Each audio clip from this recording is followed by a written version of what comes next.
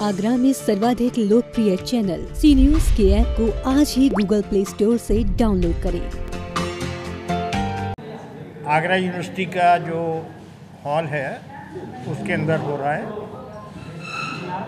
विद्वत सूचना समाचारों के द्वारा हम समय की दे देंगे। दूसरा, इसमें नीट एंड क्लीन फ़िल्में आती हैं। जो हम अपने परिवार के संग देख सकते हैं। उसका कारण ये है कि जितनी फ़िल्में आती हैं उनके एक पैनल है हमारा वो उसको देखता है। अगर हम ये समझते हैं कि ये फ़िल्म इस लायक नहीं है कि हम ऑडियंस को दिखा सकें। जैसे लास्ट ईयर हमने दो फ़िल्में पैनल में देखने के बाद उनको रोक दिया था।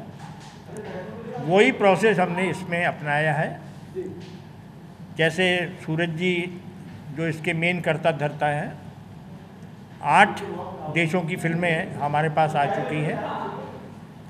देखिए, जो गाइडलाइंस हैं सरकार की, उसको तो हम फॉलो कर रहे हैं। जैसे थिएटर का जो नियम आया था 50 परसेंट का तो हमने जो हॉल है, वो उसी कैपेसिटी का चुना है 200 कैपेसिटी का तो हम 80 से ज़्यादा लोग नहीं बुलाएँगे क्रॉस करेंगे सीट को, जैसे कि थिएटर में चल रहा है सैनिटाइजेशन है मास्क का, वो सारी व्यवस्थाएँ करी जाएँगी और हम लोगों को कम से कम बुला रहे हैं। इस बार हमने जो सेलिब्रिटीज़ थे, वो भी कम कर दिए चूँकि होता क्या है कि सेलिब्रिटी को देख के लोग आकर्षित होते हैं, जाते हैं। तो वो बड़े सेलिब्रिटीज़ माइनस कर रहे हैं। छोटे लोग जो राइटर टाइप के लोग हैं, पर्दे के पीछे बहुत बड़ा नाम है, लेकिन लोग नहीं जानते।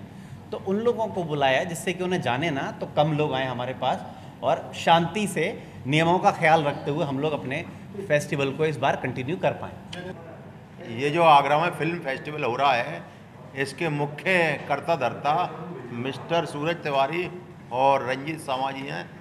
और मेरे उनके, मैं इनके साथ जैसे भी हूँ तो कोशिश करते हैं हम इस फ़िल्म फेस्टिवल को जितना अच्छे से अच्छा बनेगा, उतना करेंगे।